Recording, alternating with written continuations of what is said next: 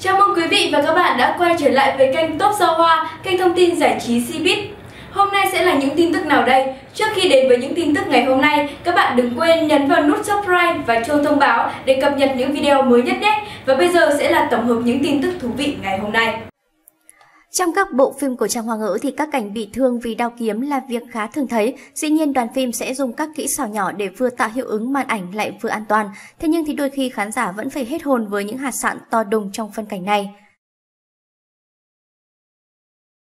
Trong bộ phim Phong Vân, trang bộ Kinh Vân do nam diễn viên Hà Nhận Đông thể hiện đã cho chúng ta thấy câu nói đao kiếm không có mắt theo đúng nghĩa đen. Rõ ràng đâm lệch hẳn sang một bên, không hề trúng người nhưng các diễn viên lại diễn sâu hết mức, người thì che bụng, người thì hốt hoảng ra mặt. Không cảnh vừa đẹp lại vừa đau thương khiến netizen suýt xoa không thôi khi mỹ nữ 4.000 năm cúc tinh y bị thương ở cổ. Thế nhưng nếu tinh ý khán giả sẽ phát hiện ra trên thanh kiếm kia chẳng hề có chút máu nào hết. Trong bộ phim Tân Hoàn Châu Cách Cách, netizen không nhịn nổi cười khi phát hiện ra ban đầu lưỡi dao chỉ cắm hờ vào người nàng tử vi, thì không lâu sau đó con dao lại cắm vào sâu hơn. Chẳng lẽ Càn Long muốn lấy oán trả ơn, lén hại ân nhân cứu mạng mình? Rõ ràng bị trúng tên nhưng Dương Mịch lại chẳng hề chảy máu trong phân cảnh này. Chưa kể mũi tên đâm vào vai mỹ nhân tam sinh tam thế còn bị phát hiện rơi mất lông vũ lúc nào không hay, thế mới biết chất lượng mũi tên thời cổ chẳng hề tốt chút nào. Cảnh trúng tên của Phạm Băng Băng trong phim Võ Mị Nương truyền kỳ cũng mắc phải hạt sạn tương tự khi miệng vết thương chẳng hề chảy chút máu nào. Không biết là do ekip đoàn phim tiếc một chút siro hay Phạm Băng Băng sợ dơ cái áo đẹp nên nhất quyết nhắm mắt cho qua như thế này. Thêm một cảnh trúng tên ảo tung chảo trên màn ảnh hoa ngữ đó là nhân vật Quách Khiếu Thiên, cha của Quách Tĩnh trong phim Anh hùng xạ điêu. Rõ ràng đã bắn xuyên qua người nhưng mũi tên vẫn còn bốc cháy thì thực sự có gì đó sai sai.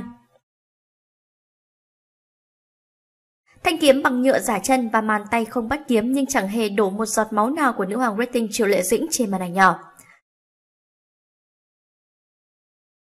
Những màn bắt kiếm bằng tay khá thường gặp trong phim ảnh hoa ngữ, đồng thời đây cũng là phân cảnh dễ dính xạ nhất, có người thì lộ rõ thanh kiếm bằng nhựa khi quay cận cảnh. Có người thì không chảy máu lúc bắt kiếm mà tới khi buông tay ra mới để lại những dấu sơn rõ ràng khiến khán giả cười không khép được miệng. Bộ phim Ngũ Thử Náo Đông Kinh, netizen lại được fan cười té ghế với cảnh quay diễn sâu hết mức của diễn viên, biểu cảm căm hờn cùng những hạt cẩu kỷ bắn tứ tung thay máu khiến khán giả nhầm tưởng mình đang xem phim hài. Và nạn nhân thì dính đầy phẩm màu đỏ nhưng lại chẳng có chút vết thương nào, có vẻ như nhân viên đạo cụ và hóa trang của đoàn làm phim đã đình công mất rồi. Cảnh Lam bị thương cổ bằng sống đao gây hoang mang nhất trên màn ảnh hoa ngữ, dù đạo cụ sai sai nhưng biểu cảm đau đớn của nam diễn viên này quả thực xứng đáng được khen ngợi.